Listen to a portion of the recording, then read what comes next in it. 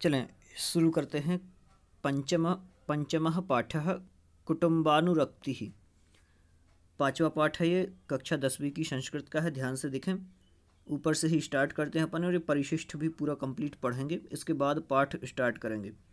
पंचम पाठ पाठ पाँच कुटुम्बानुरक्ति कुटुम्बानुरक्ति मतलब कुटुंब से अनुरक्ति। कुटुंब मतलब होता है परिवार और अनुरक्ति मतलब होता है प्रेम। तो कुटुंबानुरक्ति, परिवार से प्रेम। नाटक को पूरा देखेंगे। संस्कृत नाटककारेषु प्रमुखेन महाकवि भासेन नाटकांतम कवित्वम इति उक्ति उक्तिम चरितार्थम कृत्वा त्रयोदश नाटकानि विरचितानि। देखें क्या कहा। संस्कृत नाटककारेषु।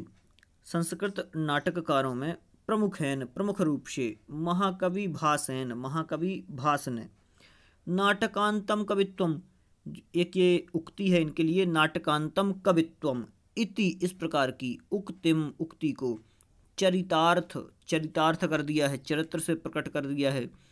कृत्वा मतलब करके। त्रयोदश नाटकानी। त्रयोदश मतलब होता है तेरह। नाटकानी तो त्रयोदश नाटकों को विरचितानी रचा, या फिर इनके द्वारा रचे गए। तो इन्होंने क्या किया? संस्कृत नाटककारों में प्रमुख नाटककार जो महाकवि भास हैं, इन्होंने अपनी जो ये उक्ति है, इनके लिए ये उक्ति दी थी, कहा जाता है इनके लिए नाटकांतम कवित्वम नाम से। तो ये इन्होंने चरितार्थ कर दी है और इन्होंने तेरह नाटकों की रचना की। तानीच दूतवाक्यम कर्णवहारम दूत घटोत्कच मध्यम व्यायोग पंचरात्रम उरुभंगम अभिषेक नाटक बालचरितम अभिमारकम प्रतिमा नाटकम प्रतिज्ञा योगंधरायण स्वप्नवासव दत्तम चारुदत्तश्चेति, चारुदत्त और चारुदत्त। आप लोग इन नाटकों का अध्ययन करें, बहुत बढ़िया नाटक है।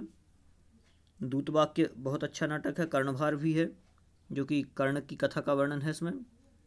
दूतवाक्य में दूत बनाकर भेजा जाता है। दूत घटोत्कचम में घटोत्कच को दूत बनाकर भेजा जाता है। मध्यम व्यायोग, जो आपके अभी ये पाठ चलेगा, ये मध्यम व्यायोग से लिया गया है। पंचरात्रम भी है इसमें। पंचरात्रम बहुत बढ़िया कथा है। उरुभंग एक एकांकी है, जिसमें उरुभंग की चर्चा है। भीम और दुर्योधन का युद्ध होता है। अभिषेक नाटक बहुत बढ़िया नाटक है। वालीचरितम भी है। अभिमारक है। अभिमारक और कुरंगी के प्रेम प्रसंग का वर्णन है, प्रतिमा नाटक है, जिसमें भगवान श्री रामचंद्र जी का वर्णन है। प्रतिज्ञा योगंधरायण भी एक बढ़िया नाटक है और स्वप्नवासो दत्तम जो हैं, एक दूसरे के उत्तरार्ध और पूर्वार्ध हैं और एक चारुदत्त जो है मृक्ष कटिकम नाटक जो है, प्रकरण है। उसका उपजीव्य है ये। चलें देखते हैं। अंशोऽयं भास प्रणीतात मध्यम व्यायोग इति ग्रंथान गृहीत। अंशो अयम। अंश अयम होगा, इसका तो अंश मतलब अंश अयम मतलब यह यह अंश जो है, यहाँ जो नीचे पाठ दिया गया है यह भास प्रणीत भास द्वारा रचित मध्यम व्यायोग। मध्यम मध्यम व्यायोग नाम के इति ग्रंथान इस प्रकार के ग्रंथ से ग्रंथात गृहीत मतलब ग्रहण किया गया है। अंशेस्मिन प्रस्तुतम यत अस्मिन अंशे अंशेस्मिन इस अंश में प्रस्तुत प्रस्तुत किया गया है यत की, यदा जब घटोत्कचेन घटोत्कच ने बधार्थ, बधार्थम, बधार्थ, बध के लिए, अर्थम शब्द आपको जहाँ भी मिले तो आपको के लिए उसका अर्थ निकालना है। अर्थम जहाँ भी मिले, उसका अर्थ क्या निकालना है? के लिए। बधार्थम, खेलार्थम, क्रीडनार्थम, इस प्रकार से अर्थम शब्द जहाँ भी हो। एक ब्राह्मण परिवार। एक ब्राह्मण परिवार। समाशादिता समासादिता मतलब ग्रहण किया। तदा परिवार से या फिर प्राप्त किया भी कह सकते हैं। एक ब्राह्मण परिवार को वध के लिए प्राप्त किया। तदा परिवार से सर्वे सदस्या सर्वे सदस्या स्वपरिवारकान्, अन्यान सदस्यान मोक्तुम स्वप्राणोत्सर्गम कर्तुम च कथम उद्यता भवंती देखे क्या कहा? तो जो जिस परिवार में से एक व्यक्ति को मारना था घटोत्कच के लिए तो सर्वे सदस्या सभी सदस्य, तदा परिवार से उस परिवार के सभी सदस्य स्व परिवार कान अपने परिवारजनों के लिए अन्यान सदस्यान तो अपने परिवार के अन्य सदस्यों के लिए मोक्तुम छोड़ने के लिए। स्वप्राणोत्सर्गम कर तुम अपने प्राण देने के लिए कथम उद्यता भवंती किस प्रकार उद्यत हो गए मतलब जो घटोत्कच था, वो एक ब्राह्मण परिवार के किसी एक सदस्य को पकड़ लेता है। तो और पकड़ना क्या? कहता है कि मैं आपके परिवार से एक किसी सदस्य को खाऊँगा, जो मेरी माता ने आदेश दिया है, उसका पालन करूँगा। तो सभी लोग एक दूसरे को छुड़ाने की चर्चा करते हैं कि नहीं, इसे नहीं खाओ, मुझे खा लो या फिर मुझे ले जाओ, इसे मत ले जाओ। तो इस प्रकार से उन्होंने जो कहा, उसका वर्णन यहाँ पर है। स्वपरिवारम प्रति समर्पणम प्रेम भावम च प्रकटयति अयम अंश। अयम अंश यह अंश प्रकटयति, प्रकट करता है च और प्रेम भावम प्रेम का भाव। समर्पणम समर्पण स्वपरिवारम प्रति अपने परिवार के लिए। यह पाठ जो है अपने परिवार के लिए समर्पण का भाव प्रकट करता है, इस प्रकार से कहा। चलें, अब स्टार्ट करते हैं, थोड़ा सा कड़े शब्द हैं यहाँ पर, लेकिन अपन शब्दार्थ सहित अर्थ को देखेंगे और बहुत बढ़िया तरीके से पढ़ने का प्रयास करेंगे। हंत, वृद्ध बोलता है, वृद्ध, जो कि अलग अलग यहाँ पात्र हैं, वृद्ध है, प्रथम पुत्र है, घटोत्कच है, तीनों के अलग अलग पात्र हैं अलग अलग बोलेंगे। देखते हैं, वृद्ध मतलब बूढ़ा। तो बूढ़ा ब्राह्मण कहता है, क्या कहता है? हंत निराशाह हंत निराशाह स्म देखें, क्या कह रहा है? हंत हंत मतलब हाय। कहते हैं ना, हाय क्या हो गया? हाय राम, इस प्रकार से। तो हंत, निराशाह निराशाह मतलब निराश। स्मह मतलब हैं। तो क्या कहा? हंत, निराशाह स्मह हम निराश हैं। भवतु पुत्र व्यपाश्रयिष्ये तावदेनम। ध्यान से एक एक शब्द देखना है। भवतु पुत्रे, भवतु पुत्र, व्याप, व्यपाश्रयिष्ये व्यपाश्रयिष्ये तावदेनम। मतलब क्या कहा? भवतु पुत्र अच्छा पुत्र, तब तक व्यपाश्रयन व्यपाश्रयन मतलब निवेदन करना। व्यपाश्रय मतलब होता है निवेदन करते हैं। क्या निवेदन करते हैं?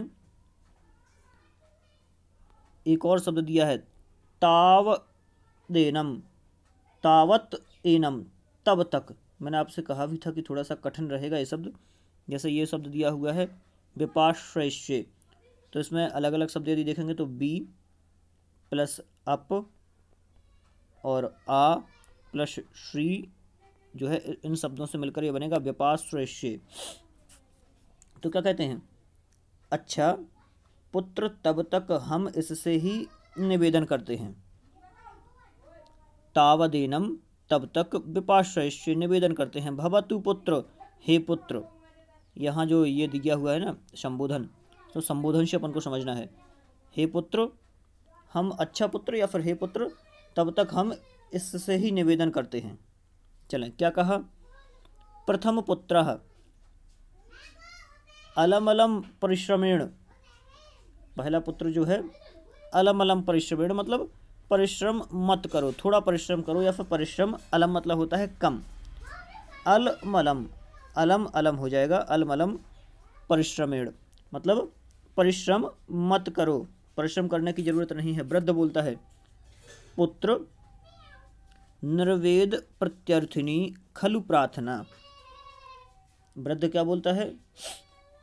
निर्वेद प्रत्यर्थनी, खलु प्रार्थना मतलब निर्वेद प्रत्यर्थनी, मोक्ष की याचना, मोक्ष की इच्छा। खलु प्रार्थना, खलु मतलब होता है निश्चय से। प्रार्थना मतलब होता है प्रार्थना करना। थोड़ा सा पाठ कठिन है, अपन एक साथ इसका जब अर्थ देखें तो और अच्छे से समझ में आएगा। अभी आपको लग रहा होगा जैसे समझ में नहीं आ रहा है, लेकिन एक एक शब्द शाह ऐसे ही इसका देखना पड़ेगा। चलें, आगे देखते हैं। पुत्र, कहाँ थे अपन यहाँ? पुत्र निर्वेद प्रत्यर्थनी खलु प्रार्थना। पुत्र निर्वेद प्रत्यर्थनी खलु प्रार्थना। मतलब अब मोक्ष के लिए प्रार्थना होगी। वृद्ध कह रहा है अपने पुत्र से कि पुत्र, अब तो मोक्ष के लिए प्रार्थना होगी। आगे क्या कहता है? भवतु पश्यामस्तावत। भवतु पश्यामस्तावत तक तक हम देखते हैं क्या होता है, तब तक हम देखें। आगे क्या होता है? भो भो पुरुष। भो भो पुरुष अस्त्यमस्माकम मोक्ष। क्या बोलता है? भो भो पुरुष। हे हे पुरुष। बोल रहा है वृद्ध ही, हे पुरुष या फिर भो भो पुरुष। भो का मतलब होता है हे या अरे होता है, भो का अर्थ। अस्त्य अस्माकम मोक्ष। अस्ति मतलब है अस्माकम मतलब हमारे लिए मोक्ष मोक्ष। क्या हमारे लिए मोक्ष है? उससे बोलता है। अब है घटोत्कच का कथन। घटोत्कच क्या बोलता है? मोक्षोस्ति शमयतः। घटोत्कच जो है बोल रहा है कि मोक्षोस्ति समयता मोक्षोस्ति, मोक्ष है। क्या बोल रहा है? मोक्ष है। फिर समयतः समयता समयतः मतलब का अर्थ क्या हो जाए कि मतलब शर्त है। मोक्ष तो है, लेकिन मोक्ष के लिए कैसा है? समय। समय का अर्थ क्या होता था? समय का अर्थ शर्त होता था। तो मोक्षोस्ति समयतः मतलब एक शर्त पर ही मुक्ति होगी या फिर मोक्ष होगा। वृद्ध कहा समय? कौन सी शर्त है? घटोत्कच घटोत्कच बोलता है। अस्थि में तत्र भवती जननी।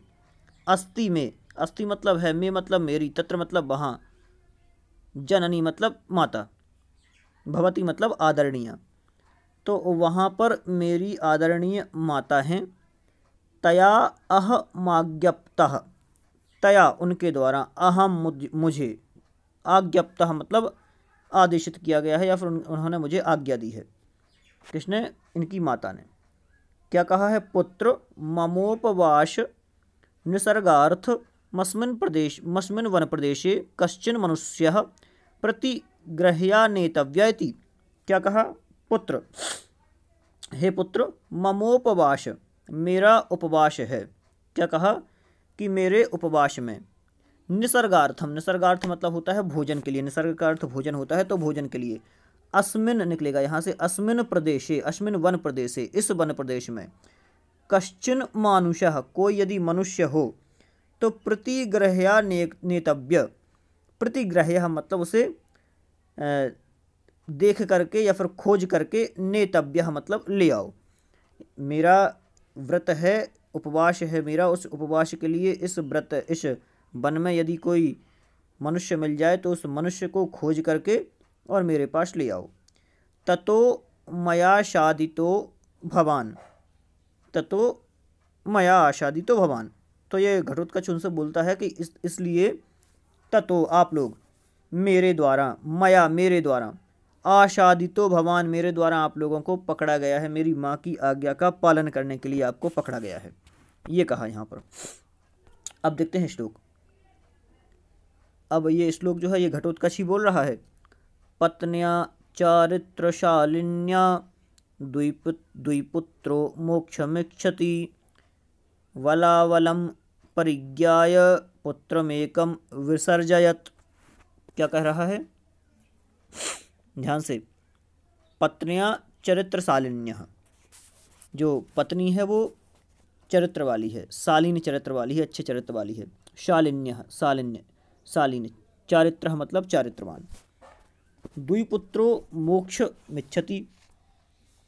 शालीन चरित्र वाली पत्नी और द्विपुत्रो द्विपुत्रो मतलब दो पुत्र, मोक्ष मिच्छति, मिच्छसी। दो पुत्र मुक्ति को चाहते हों तो वलावलम परिज्ञाय। बलाबलम बलाबलम मतलब बल और अबल मतलब श्रेष्ठ और हीन, या फिर बलवान और निर्बल। परिज्ञाय परिज्ञाय मतलब जानकर। पुत्र में एकम परित्यज, पुत्र मतलब पुत्र, एकम मतलब एक। परि, ये क्या लिखा है लास्ट में?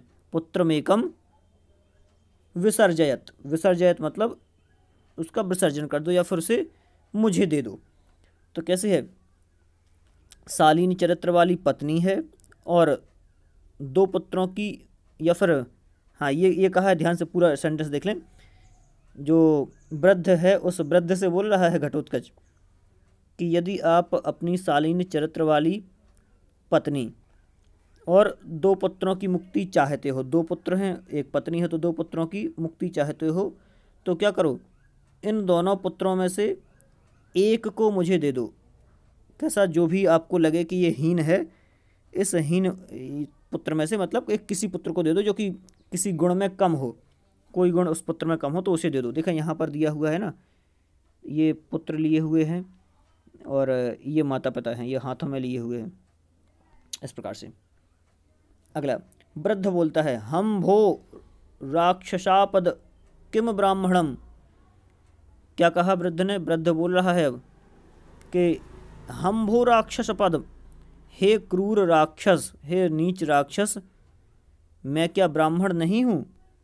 किम अहम ब्राह्मण? क्या मैं ब्राह्मण नहीं हूँ? हम हो राक्षस पद राक्षसा पसद क्या मैं ब्राह्मण नहीं हूँ? ये बोल रहा है वो। चले, ब्राह्मण बोलता है, ब्राह्मण श्रुतवान वृद्ध। ब्राह्मण श्रुतवान वृद्ध। श्रुतवान मतलब श्रुत को जानने वाला, शास्त्रों को जानने वाला वृद्ध वृद्ध। मैं ब्राह्मण, मैं वृद्ध, शास्त्रज्ञ, ब्राह्मण, शास्त्रों को जानने वाला ब्राह्मण, पुत्रम शील गुणान्वितम। अपने जो पुत्र है, मेरा पुत्र है, वो कैसा है? शील गुणान्वितम शील गुणों से सहित पुत्र है। तो पुरुषादस्य दत्वाहम कथम निर्वृत्य मापनुयात? मतलब क्या कहा? कि मैं वृद्ध शास्त्रज्ञ ब्राह्मण हूँ और जो आ, अपने शीलवान गुण जो गुणवान पुत्र है उस शीलवान गुणवान पुत्र को कैसा? पुरुषादस्य पुरुषाद अश्य इस प्रकार के अपने पुत्र को और पुरुषादश्य मतलब पुरुष को खाने वाले पुरुष को खाने वाले। दत्वा अहम अहम मतलब मैं दत्वा मतलब देकर, कथम मतलब किस प्रकार? निर्वृत्युपाप निर्वृत्त निर्वृत्ति मापनुयात। मैं किस प्रकार से निर्वृत्ति को प्राप्त होऊँगा या फिर कैसे शांति को प्राप्त करूँगा? मैं कैसा हूँ? ब्राह्मण हूँ, श्रुतवान हूँ और वृद्ध हूँ। और मेरा जो पुत्र है वो शीलवान है और गुणों से सहत है। और मैं तुम जैसे राक्षस के लिए देकर अपने पुत्र को किस प्रकार से सुखी रहूँगा? ये कह रहा है जो ब्राह्मण है, जो वृद्ध ब्राह्मण है, वो घटोत्कच से। अब घटोत्कच कहता है, क्या बोलता है? यद्यर्थितो ध्वजश्रेष्ठ पुत्र मेकम नमुंचसी सकुटुम्बः क्षणेनैव विनाश मुपयाश्यसी इस प्रकार से आपको ये याद भी करना है। क्या कहा? यद्यस, यद्यर्थितो, यत और अर्थितो, यत मतलब जो। अर्थितो मतलब मैंने मांगा है। ध्वज श्रेष्ठ हे ध्वज श्रेष्ठ हे ब्राह्मण जी, जो मैंने मांगा है पुत्र में एकम न मुंचसी जो मैंने एक पुत्र मांगा है, यदि आप उसे नहीं छोड़ रहे हैं तो क्या होगा? सा कुटुम्ब क्षणे नैव, सा कुटुम्ब कुटुंब के साथ क्षणे नैव, एक क्षण में ही विनाश मुपयाश्यति विनाश को प्राप्त हो जाओगे। यदि जो मैंने कहा है कि एक पुत्र आप अपने पुत्रों में से दे दें, यदि आप नहीं देते हैं तो आप विनाश को प्राप्त हो जाएँगे सकुटुम्ब अपने कुटुंब के साथ। अब देखें, वृद्ध ब्राह्मण जो है, वो बोलता है एश एव मे निश्चय एश एव मे निश्चय। इस प्रकार का मेरा क्या है? निश्चय है, ये बोल रहा है एश एव मेरा निश्चय एश एव में निश्चय, यही मेरा निश्चय है। क्या कहता है? अब देखें, अब यहाँ भी श्लोक के माध्यम से ही कह रहा है कृतकृत्यम शरीरम में परिणामेन जर्जरम। राक्षसाग्नौ श्रुतापेक्षी होश्यामी विधि संस्कृतम। क्या कहता है वृद्ध ब्राह्मण? कृतकृत्यम शरीरम में। मे शरीरम कृतकृत्यम जो मेरा शरीर है, ये कृतकृत्य हो गया है। कैसा हो गया है? अब कार्य कर कर के थक चुका है या फिर मैंने पूरे कार्य कर लिए हैं, कृतकृत्यम। मेरे द्वारा सारे कृत्य हो गए हैं। शरीरम मतलब मेरे शरीर से, मे मतलब मेरे। परिणामेन, इस परिणाम से। जर जरम मतलब जर जर हो गया है। बहुत ज़्यादा थक चुका है। मेरा शरीर कैसा है? जो वृद्ध है, वो कह रहा है, कृतकृत्यम में शरीरम। मेरा शरीर कृतकृत्य हो गया है, मैंने सब कुछ देख लिया है। परिणामेन जर्जरम, इस परिणाम से जर्जर हो गया है, बूढ़ा हो गया हूँ। राक्षसाग्नऊ राक्षस की अग्नि में, या फिर उसकी पेट रूपी अग्नि में। सुतापेक्षी सुतापेक्षी मतलब सुत मतलब होता है पुत्र, और अपेक्षी मतलब उसकी अपेक्षा। तो पुत्र की अपेक्षा होश्यामी होश्यामी मतलब आहूत कर दूँगा, या फिर उसमें खुद दह जाऊँगा। विधि संस्कृतम विधि संस्कृतम, विधि मतलब होता है अनुष्ठान। और संस्कृतम मतलब पवित्र। तो यहाँ जो वृद्ध ब्राह्मण है, वो कह रहा है कि मैं अपनी पुत्र की अपेक्षा में ही खुद उस राक्षस की जो पेट की अग्नि है, उसको मैं, मेरा शरीर ही शांत कर देगा, क्योंकि जो मेरा शरीर है, ये कृतकृत्य हो गया है, जर्जर हो गया है और विधि संस्कारों से पवित्र मेरा जो शरीर है, मैं अपने इस शरीर से ही क्या कर दूँगा, उसके पेट की अग्नि को शांत कर दूँगा। ब्राह्मणी बोलती है, देखें क्या बोलती है ब्राह्मणी? आर्य माँ मैबम माँ मैबम माँ मतलब नहीं मैबम मतलब इस प्रकार से। एवं मतलब यह। क्या कहती है कि आर्य इस प्रकार से मत कहो। पति मात्र धर्मणि पतिव्रतेति नाम। पति मात्र पति मात्र धर्मणि। यहाँ पर अलग अलग शब्द हैं। पति मतलब पति मात्र मतलब मात्र, धर्मणी मतलब धर्म का। पतिव्रते इति। तो पतिव्रत इति मतलब इस प्रकार से नाम मतलब नाम है। तो क्या नाम है? पति ही पतिव्रत धर्म का नाम है। या फिर इस प्रकार से भी कह सकते हैं कि पतिव्रता स्त्री के लिए तो पति ही उसका धर्म है। आगे, ग्रहित फले नेतेन शरीरार्थ शरीरेणार्थम कुलम च इच्छामी रक्षितुम इच्छामी रक्षण करने की इच्छा करती हूँ। क्या कहती है ब्राह्मणी कि मैं भी अपने इस शरीर से शरीर शरीरणार्थम कुलम च रक्षितुम इच्छामी। मैं अपने इस शरीर से गृहित फलेन, उस फल को ग्रहण करने के लिए जो, जिसके लिए वो ले जाना चाहता है एक पुत्र को या फिर अपने परिवार में से किसी एक को तो उसके लिए क्या करना चाहता हूँ? रक्षितुम इच्छामी मैं उसके लिए जाना चाहती हूँ या फिर मैं रक्षा करना चाहती हूँ, ये कहती है ब्राह्मणी। घटोत्कच घटोत्कच बोल पड़ता है, भवती न खलु स्त्रीजनो भी मत तत्र भवत्या। मतलब भवती भवती मतलब आप, ना खलु स्त्रियो, ना खलु स्त्रीजनो। खलु मतलब निश्चय से, ना मतलब नहीं। आप स्त्रीजन इसके लिए अभिमत नहीं हैं आप वहाँ जाने योग्य नहीं हैं, इस प्रकार से कह देता है। वृद्ध वृद्ध बोल पड़ता है, अनुगमिष्यामी भवंतः अनुगमिष्यामी, मैं आपका अनुसरण करूँगा। मतलब मैं आपका अनुसरण करूँगा। वृद्ध आगे जाके खड़ा हो जाता है तुरंत और कहता है कि मैं आपका अनुसरण करूँगा। तो घटोत्कच बोल पड़ता है, आ वृद्धस्वमपसरा क्या बोलता है? अरे, आ आ मतलब अरे। वृद्ध मतलब बूढ़े, त्वा बूढ़े, त्वा मपशरसह मपशर तुम दूर हट जाओ, तुम अपशरसह अपशरसह निकलेगा यहाँ से अपशरसह मतलब होगा दूर हट जाओ। तुम क्या करो? दूर हट जाओ।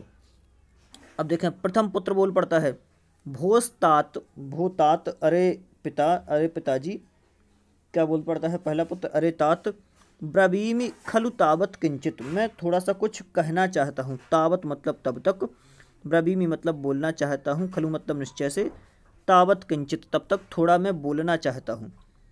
वृद्ध बोलता है। क्या बोलता है? वृद्धम। वृद्ध बोलता है। ब्रूहि ब्रूहि शीघ्रम। बोलो बोलो, जल्दी बोलो। कहो, क्या कहना है? ये कहता है। अब देखें, प्रथम पुत्र प्रथम पुत्र बोल पड़ता है। क्या बोलता है? श्लोक के माध्यम से। मम प्राणैर गुरुप्राण निच्छामि परिरक्षितुं रक्षणार्थ कुलस्यास्य मोक्तुमर्हसि माम भवान। ये कौन बोलता है? पुत्र श्लोक बोलता है। और साथ में जो दूसरा पुत्र है, वो भी एक श्लोक बोलता है। द्वितीय पुत्र, आर्य माँ मैव तावत। दूसरा पुत्र भी बोल पड़ता है। तो चलें, पहले पुत्र का देखते हैं।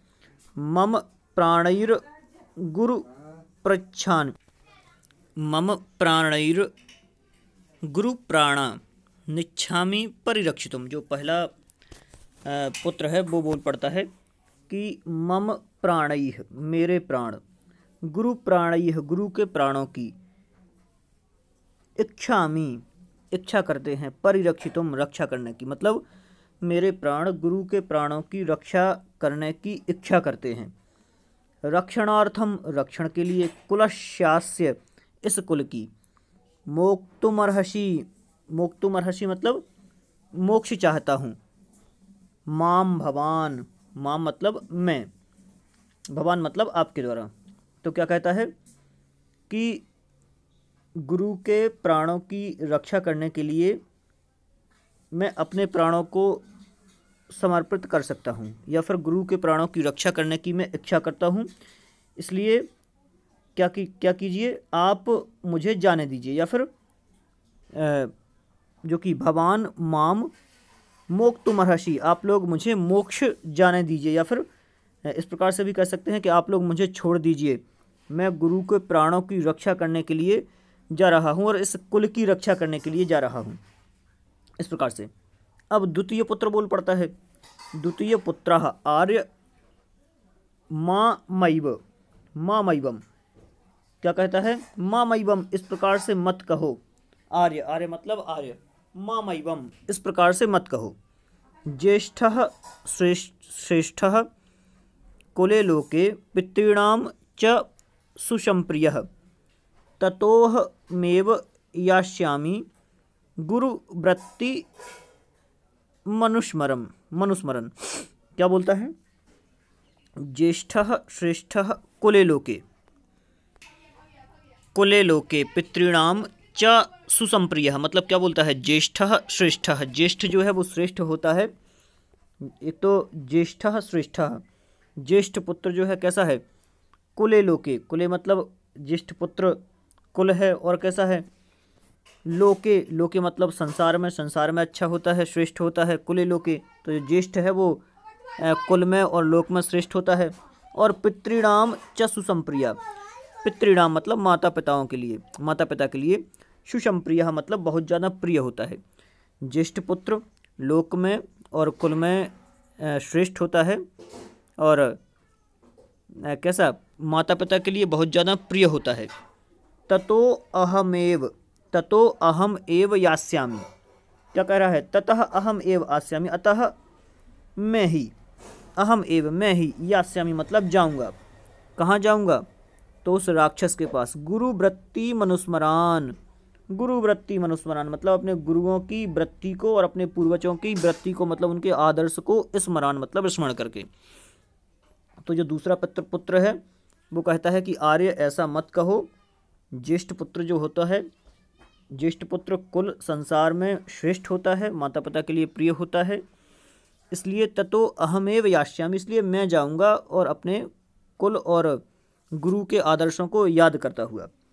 अब देखें, जो तृतीय पुत्र था, तीन पुत्र थे तो तृतीय पुत्र जो है, बोल, वो बोल पड़ता है आर्य मामईबम इस प्रकार मत कहो, आर्य इस प्रकार से मत कहो, ज्येष्ठो भ्रातः पितृशम, कथितो ब्रह्मवादी भी ततो हम कर्तुमश्म्यर्हो गुरुणाम प्राण रक्षणम। क्या कह रहा है? जो कि तृतीय पुत्र है, वो अब कह पड़ता है, ज्येष्ठो भ्राता पितृसम। ज्येष्ठो भ्राता ज्येष्ठो मतलब होता है बड़ा पुत्र। तो बड़ा भाई। यहाँ तीसरा पुत्र बोल रहा है तो ज्येष्ठो मतलब ज्येष्ठ, भ्राता मतलब होता है भाई, पितृ समह पितृ समह मतलब पिता के समान, कथित मतलब कहा गया है, ब्रह्मवादी भी। ब्रह्मवादी भी जो कहलाते हैं मतलब कि बहुत श्रेष्ठ ब्रह्म, ब्रह्मज्ञ मतलब महर्षि, ब्रह्मवादी कहलाते हैं। ततो अहम इसलिए मैं कर्तु मर कर्तुमश्म्यर हो यहाँ पर जो कि अर्ह शब्द है, अर्ह मतलब होता है योग्य और अहम मतलब मैं। गुरु नाम मतलब गुरुओं के, प्राण रक्षणम मतलब प्राण रक्षा के लिए। इसलिए मैं गुरुओं की प्राण रक्षा करने के लिए, मैं यहाँ पर जाने के लिए योग्य हूँ। क्या कह रहा है? पुनः एक बार इसे देख लेते हैं कंप्लीट। जो तीसरा पुत्र बोल रहा है, उसका कथन है, क्या बोलता है? कि आर्य आप मामईवम इस प्रकार से मत कहो, ऐसा नहीं है। क्या है? बड़े भाई जो हैं, वो पिता के समान होते हैं। ये किसने कहा है? ब्रह्मवादियों ने कहा है। इसलिए मैं गुरुजनों के और बड़े भाइयों के प्राणों की रक्षा करने के लिए योग्य हूँ। अर्हो मतलब योग्य हूँ। कर तुम मतलब करने के, अर्हो मतलब योग्य हूँ।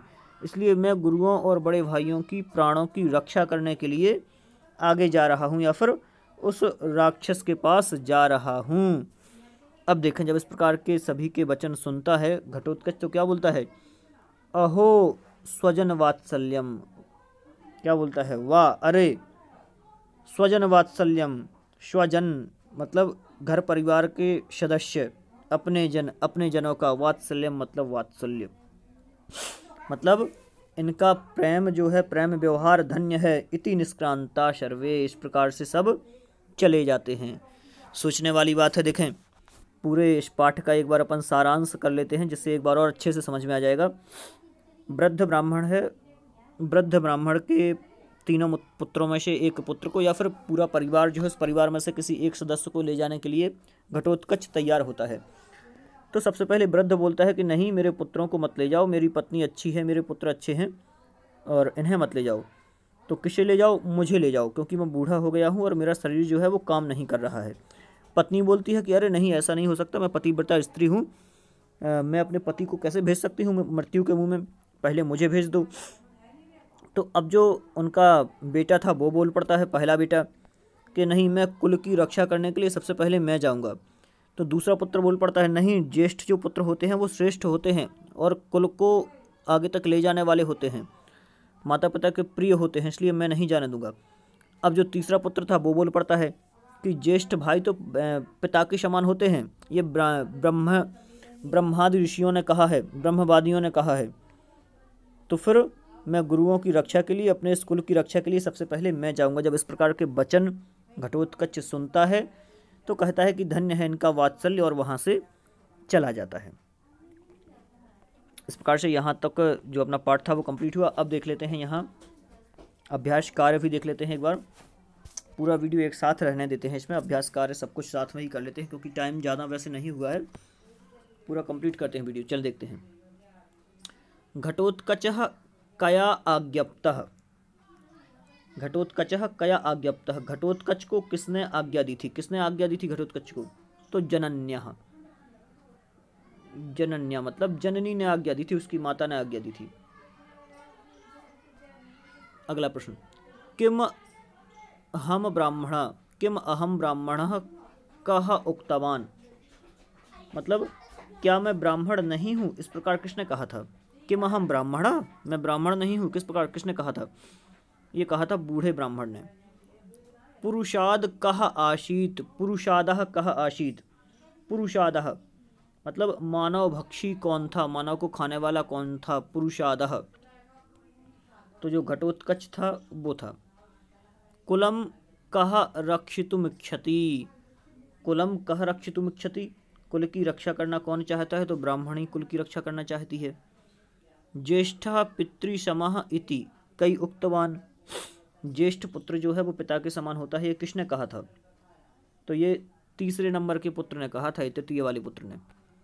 अगले एक पद में उत्तर देना है।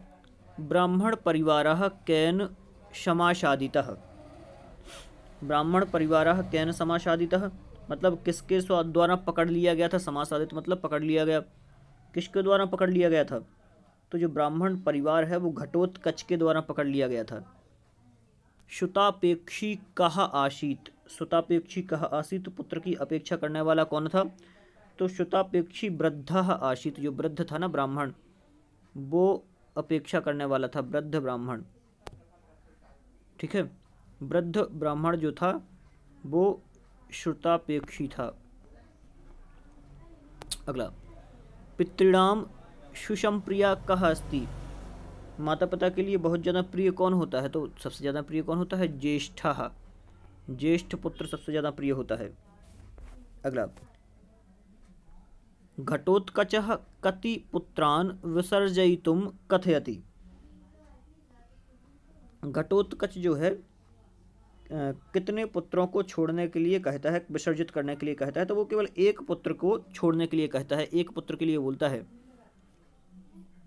घटोत्कच अंते किम कथयति? घटोत्कच जो है, वो लास्ट में क्या कह के जाता है? जो अपन ने अंतिम पंक्ति पढ़ी थी, वही कर लिखना है यहाँ पर, घटोत्कच अंते कथयति। अहो स्वजन वात्सल्यम धन्य है अपने परिवारजनों का वात्सल्य इनका। अब क्रमशः यहाँ पर बड़े प्रश्नों के उत्तर हैं, वो लिखना है।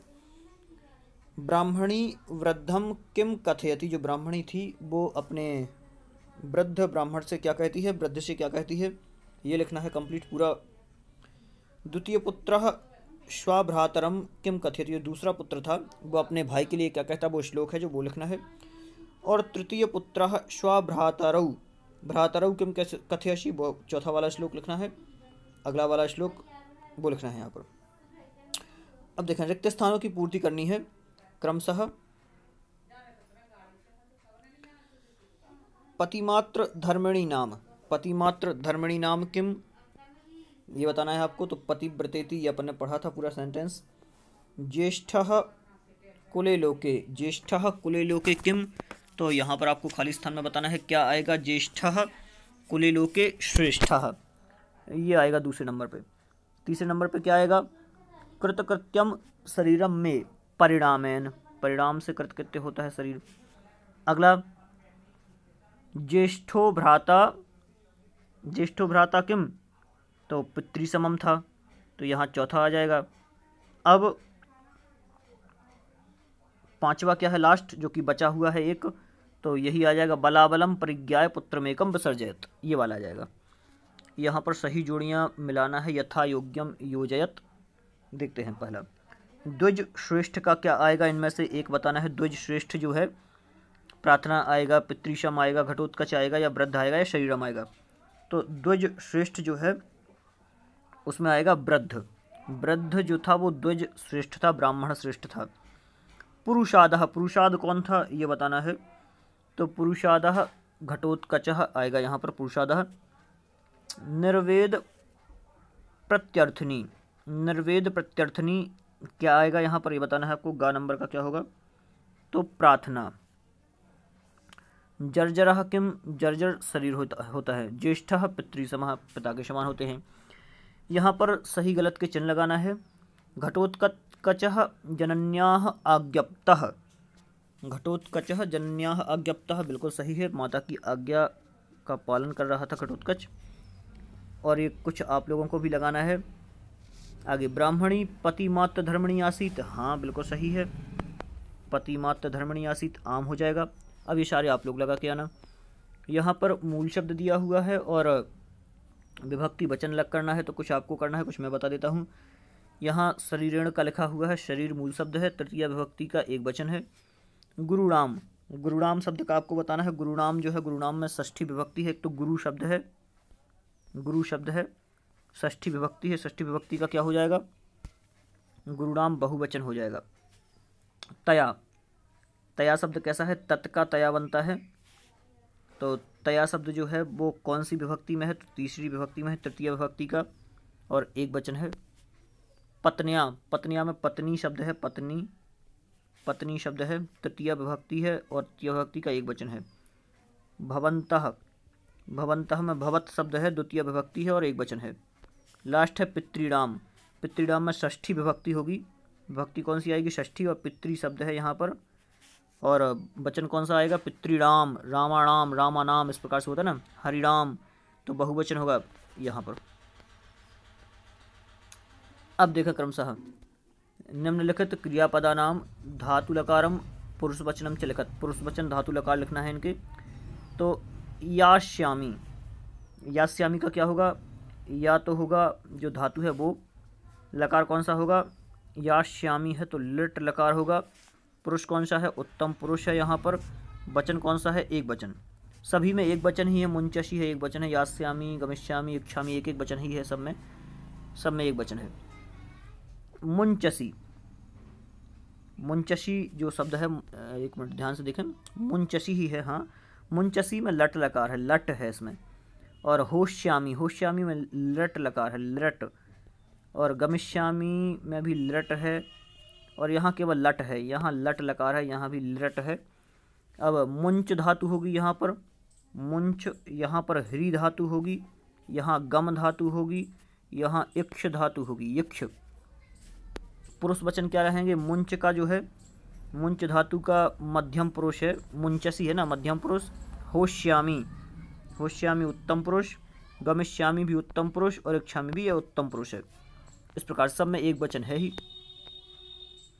इसके अलावा यहाँ पर धातु और प्रत्यय अलग करके लिखना है तो मोक्तुम। धातु कौन सी होगी? मुच धातु होगी। मुच धातु और तुमुन प्रत्यय। मुच धातु से तुमुन प्रत्यय अलग के बनेगा। दत्वा, दा धातु और प्लस त्वा प्रत्यय।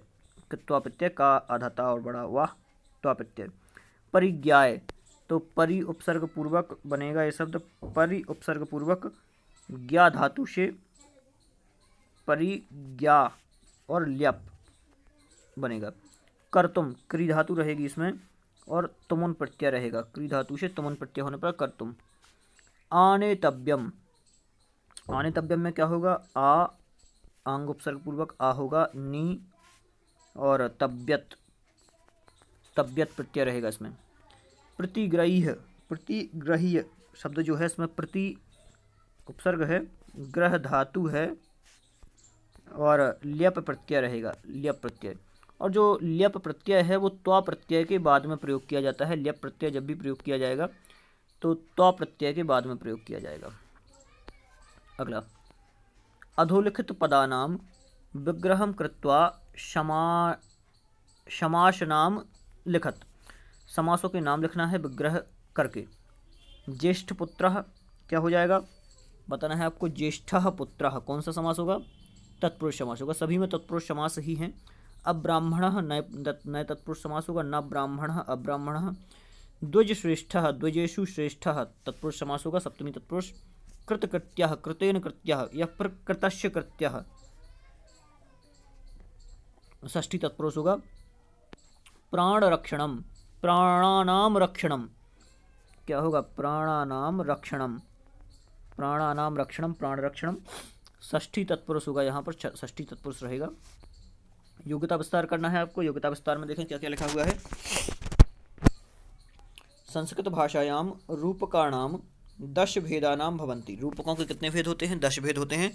श्लोक भी है इसका, नाटक मथ प्रकरणम भाण व्यायोग समवकारिम व्यायोग समवकारिम और बीथ्यंकेय यह मृग यह मृगा इस प्रकार से है कुछ। कंप्लीट याद नहीं, मुझे थोड़ा सा भूल गया हूँ लास्ट में। और जो श्लोक है ना, ये साहित्य दर्पण नाम के ग्रंथ का है, जो मैं बोल रहा हूँ। तो ये जो दस प्रकार के भेद हैं, ये रूपक के भेद हैं। नाटक, प्रकरण भाण तो ये कहलाते क्या हैं, आप लोगों ने पहली बार इनके नाम सुने होंगे। तो ये एक प्रकार के काव्य रचना या फिर गद्य रचना, अपन कुछ भी कह दें, उनके भेद हैं। जैसे एक नाटक है तो नाटक लिखा जाएगा। नाटक कैसे लिखा जाएगा? तो अपन कहते हैं कि पाठ होता है, जैसे अध्याय होता है, इस प्रकार से। उसी प्रकार से अपन समझ सकते हैं। अभी आप टेंथ क्लास में आपका लेवल है तो थोड़ा सा आपको प्रॉब्लम होगी। इनके अलग अलग भेद हैं। इनमें क्या क्या होना चाहिए? कैसे कैसे लिखा जाए? इनमें किन किन का वर्णन होता है? जैसे भाण है तो भाण में किसका वर्णन होता है? जिसमें धूर्त चरित्र वाला नायक होता है, इस प्रकार से डिम डिम में माँ इंद्रजाल संग्राम, इस प्रकार से मतलब इंद्रजाल आदि का वर्णन होता है। तो इस प्रकार के अंग हैं ये सारे के सारे, इस प्रकार से लिखा जाता है वो। तो ये नाटक आदि लिखने की एक वो है प्रोसीजर है पूरा इसमें लिखा जाता है। अगला नाट्यांश से सामूहिकम अभिनयम कृत नाट्यांश का सामूहिक अभिनय करना है, जो ये अपने देखा है नाटक, ये छोटा सा, इसका अभिनय करके आपको बताना है। चलें मिलते हैं अगले वीडियो में तब तक के लिए नमस्कार।